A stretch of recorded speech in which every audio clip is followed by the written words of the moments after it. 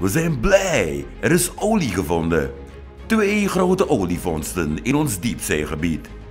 Beide in blok 58. Wat nu? Hoeveel zal Suriname hieraan verdienen? En wanneer? Verschillende internationale oliebedrijven zoeken naar olie en of gas in ons diepzeegebied. Dit gebeurt via een contract met staatsolie.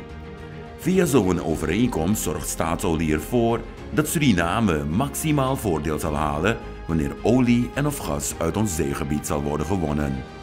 Het Amerikaanse bedrijf Apache Corporation en het Franse bedrijf Total SA hebben olie gevonden in blok 58. De eerste fonds is de put Maka 1 Central en de put Sapakara 1 West is de tweede. De vondsten zullen nu verder worden onderzocht. Het doel hiervan is om uit te zoeken hoeveel olie en of gas er is gevonden. En of deze voorraden met de hedendaagse technologie en bij welke olieprijs met winst uit de grond gehaald kunnen worden. Vanaf het moment van de vondst kan het 4 tot 6 jaar duren voordat de productie begint. En wanneer dit zover is, zal Suriname gaan verdienen.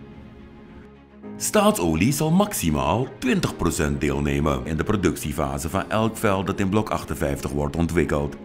Afhankelijk van de grootte van het olieveld, de kosten om de olie te produceren en de olieprijs ontvangt Suriname tussen de 60 en 75% van de opbrengsten.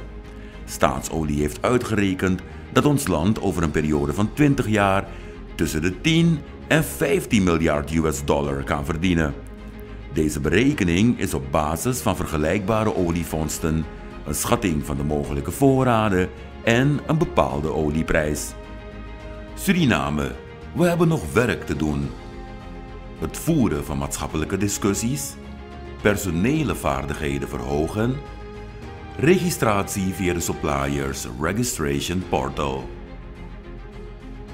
Zo maximaliseren we wat we als Suriname aan olievondsten zullen verdienen. Staatsolie. Vertrouwen in eigen kunnen.